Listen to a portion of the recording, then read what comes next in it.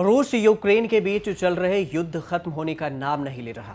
न ही ये तय हो पा रहा है कि ये युद्ध का अंत कहीं है या इसका कुछ नतीजा निकलेगा। कीव जो यूक्रेन की राजधानी है, उसको रूस ने तीनों तरफ़ से घेर कर अब बमबारी लगातार कर रहा है। ये धमाके यूक्रेन की नियत हो चुकी है। युद्ध ने तबाही को यहाँ की फिजा बना दिया है। शहर खंडहर होने का दायरा बढ़ रहा है। न धमाकों की गूंज थम रही है, न ही खौफ की तस्वीरें रुक रही है। हाँ इतना ज़रूर है कि रूस और यूक्रेन युद्ध अब तीसरा विश्व युद्ध की आशंका को और तेज कर रहा है। लेकिन क्यों? ये बताने से पहले अमेरिका के राष्ट्रपति जो बाइडेन का ये बयान सुनिए, जिसमें वो कह रहे हैं कि अमेरिका यूक्रेन में रूस से नहीं लड़ेगा। साथ ही कहा कि नेटो और क्रेमलिन के बीच सीधा टकराव तीसरे विश्व युद्ध को गति देगा। तो पहले सुनिए कि उन्होंने क्या कुछ कहा। We will make sure Ukraine has weapons to defend against an invading Russian force. We will. We will send money and food and aid to save the Ukrainian people. And I will welcome Ukrainian refugees. We should welcome them here with open arms if they need access. And we're going to provide more support for Ukraine.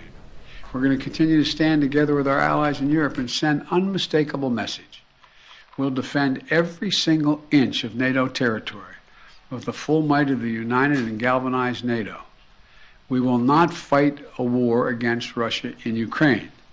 Direct confrontation between NATO and Russia is World War III, something we must strive to prevent. एक तरफ Biden कह रहे हैं कि हम Ukraine को हथियार और लोगों को पनाह देंगे उसकी एक एक इंच की रक्षा करेंगे तो वहीं दूसरी तरफ कह रहे हैं कि हम यूक्रेन के रूस के खिलाफ जंग नहीं लड़ेंगे यानी यूक्रेन से रूस के खिलाफ जंग नहीं लड़ेंगे। नेटो और रूस के बीच सीधे टकराव का मतलब तीसरा विश्व युद्ध है, जिसे हम सभी को बचना चाहिए। ऐसा बाइडन का कहना है। यूक्रेन की सड़कों पर टैंक नज़र आ रहे हैं। आसमान में फाइटर जेट की गूंज सुनाई दे रही है। इंसान के नाम सैनिक हथियारों से लैस दिखाई दे रहे हैं। यूक्रेन का मतलब अब दर्द है, चीख है और जख्म है। पलायन है। क्योंकि यूक्रेन का कोई शहर ऐसा नहीं जो रूस के हमलों से छल्ली ना हुआ। जंग अब कीव पर कब्जे की है। रूस ने कीव की फाइनल घेराबंदी तेज कर दी है। तो वहीं दूसरी तरफ़ 11 मार्च को व्हाइट हाउस में प्रेस कॉन्फ्रेंस में जो बाइडन ने कहा कि हम यूरोप में अपने सहयोगियों के साथ खड़े रहना जारी रखेंगे। उन्होंने कहा कि नेटो और रूस के बीच सीधा टकराव तीसरा विश्व युद्ध है। नेटो उत्तर अंटार्कटिक संधि संगठन यानी नेटो तीस उत्तरी अमेरिकी और यूरोपीय देशों का एक समूह है नेटो के अनुसार उसका उद्देश्य राजनीतिक और सैन्य साधनों के माध्यम से अपने सदस्यों की स्वतंत्रता और सुरक्षा की गारंटी देना है Да, ударите химическим оружием по роддому в Мариуполе, по церкви в Харькове, по детской больнице Ахмадет или по лабораториям, большинство из которых остались еще с советских времен и занимаются обычной наукой, обычной а не военными технологиями. Мы адекватные люди. Я президент адекватной страны, адекватного народа. यूक्रेन के राष्ट्रपति बोल्दोमीर जेलेंस्की ने वीकेंड में रूस के खिलाफ कार्रवाई के लिए यूएस और उसके सहयोगी देशों पर दबाव डाला था जिसका असर भी दिखा इसके बाद अमेरिका समेत दुनिया के कई देशों ने रूस के साथ व्यापारिक संबंध तोड़ दिए, साथ ही कई प्रतिबंध भी लगाए। बाइडेन ने रूसी तेल और गैस उत्पादों के आयात पर प्रतिबंध लगाने का फैसला किया था। अब बाइडन ने रूस के खिलाफ व्यापार को लेकर नए प्रतिबंधों की घोषणा की है, जिससे रूसी अर्थव्यवस्था पंगु, यानी कि विकलांग, हो सकती है। साथ ही बाइडन ने रूस से तेल, शराब, फ़ूड और सी फ़ूड डायमंड सहित अन्य व्यापारिक रिश्तों पर भी प्रतिबंध लगाने की बात कही है। 11 मार्च को जो बाइडेन ने कहा कि दुनिया पुतिन का सामना करने के लिए एक साथ आ रही है। इधर, दुनिया के बाकी देश रूस को प्रतिबंध लगाकर कमज़ोर करना चाहते हैं और उधर रूस यूक्रेन को बर्बाद करके ही रुकने का मन बना लिया है।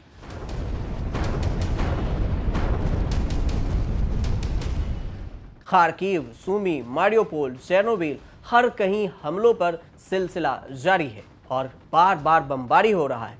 मिसाइल गरजते टैंक, गोलियों की गूंज और बमबारी करते लड़ाकू विमानों ने यूक्रेन को आगाह कर दिया कि अगर शर्तें नहीं मानी तो चारों तरफ़ से मलबा ही मलबा नज़र आएगा।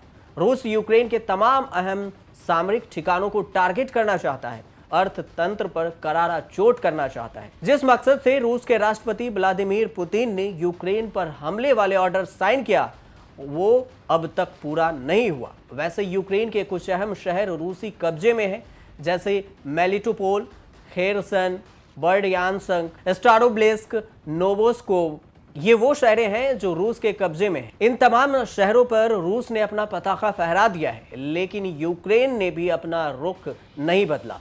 वो भी रूस से डटकर सामना करने की तैयारी में है और मोड बना रखा है। अपने नागरिकों को भी हथियारों से लैस कर रहा है।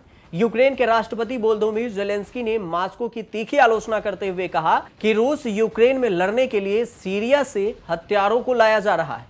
इससे पहले यूक्रेन के राष्ट्रपति कार्यालय के प्रमुख मिखाइल पोडोलिक ने कहा कि रूसी रक्षा मंत्री सोइंगू सहित रूसी अधिकारियों ने यूक्रेनी नागरिकों के खिलाफ इस्तेमाल के लिए 16,000 पूर्व आईएसआईएस लड़ाकों की जल्दबाजी में भर्ती की घोषणा की है। आईएसआईएस को काम पर रखना और रासायनिक हथियारों के बारे में रूसी प्रचार दावे यूक्रेन में सीरियाई प्रदेश को लागू करने के प्रयास की गवाही देते हैं। दरअसल वह रूस के राष्ट्रपति व्लादिमीर पुतिन द्वारा यूक्रेन में स्वयं से भी लड़ाके भेजे जाने के आदेश पर प्रतिक्रिया दे रहे थे। रूस के राष्ट्रपति व्लादिमीर पुतिन ने यूक्रेन पर हमले में शामिल होने के लिए मध्य पूर्व और अन्य भागों में स्वयं से भी लड़ाकू लाने का आदेश दिया है। टेमिलीन के एक प्रतिलेख के अनुसार रूस के रक्षा मंत्री सरगई सोयुंगू ने कहा कि रूस मध्य पूर्व के देशों से 16,000 से अधिक आवेदकों को जानता है जिन्होंने इस्लामिक स्टेट समूह के खिलाफ रूस की मदद की थी। अब उसे यूक्रेन के खिलाफ लड़ाई में उतार दिया है।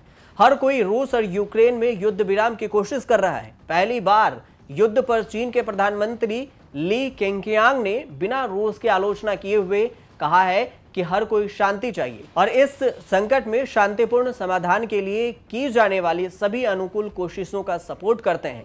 अभी सबसे ज़रूरी बात कि तनाव को बढ़ने या नियंत्रण से बाहर होने से रोकना चाहिए। आपको बता दें कि 24 फरवरी को रूसी सेना ने यूक्रेन में सैन्य अभियान शुरू किया था। 27 फरवरी को मास्को ने यूक्रेन के अलग अलग क्षेत्रों, डोनेस्क और लोहांस्क को स्वतंत्र संस्थाओं के रूप में मान्यता दे दी थी। अब लड़ाई काफ़ी आगे निकल चुकी है। बहरहाल, जंग लंबी चलती जा रही है। युद्ध विराम की हर कोशिश नाकाम होती जा रही है। बार बार रूस यूक्रेन को तबाह करना चाहता है और बमबारी मिसाइलें दाग रहा है। अब कीव को भी कब्जाने की कोशिश हो रही है और ये अंतिम लड़ाई ही समझा जा रहा है। क्योंकि कीव पर कब्जे की बात तब होती है जब राजधानी कब्जे में हो जाए तो यूक्रेन पर जीत रूस को आसानी से मिल जाएगा और उसके बाद शायद युद्ध भी खत्म हो जाए या फिर और भी लंबी चले। ये कोई नहीं जानता। आप देखते रहिए न्यूज़ तक।